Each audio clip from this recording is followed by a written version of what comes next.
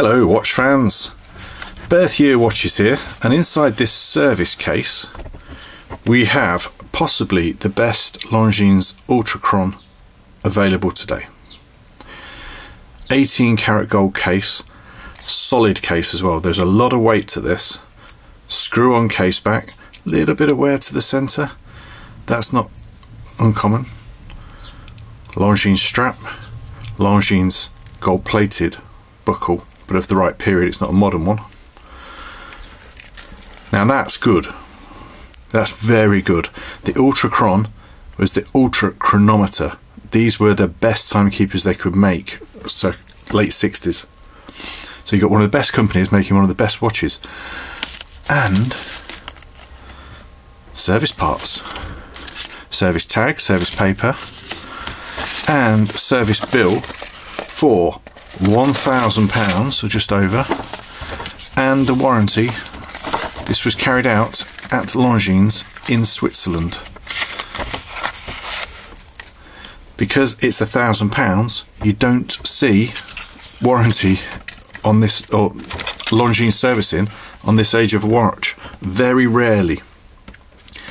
So you will find cheaper ones but will you find a better one?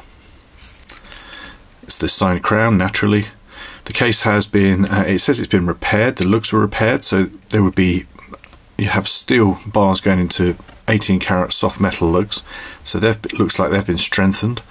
The crystal was replaced, the date wheel was replaced. Uh, the crystal alone was 171 pounds for, I mean, feels like plastic. But yeah, it's a lot of money. Now this this is way cheaper than the previous owner had spent buying and restoring the watch. Uh, you know, it's not easy if you don't buy mint to make any money. The phrase buy mint, never be skint. Look at these hour markers, the way they change in the light. Very nice. But yeah, it's going to be certainly, well, Actually, I'm going to say it's, it's going to be in the top three. There's no reason why Longines couldn't put this straight into their museum. It's that good and running that well, of course. High beat movement. It's just beautiful. You can see more on this particular watch at Birth Year Watches, and we've put that link in the comments below. That's been the pinned comment. But if you like cool vintage watches, sometimes they're a bit more unusual. Give us a subscribe might just like some more.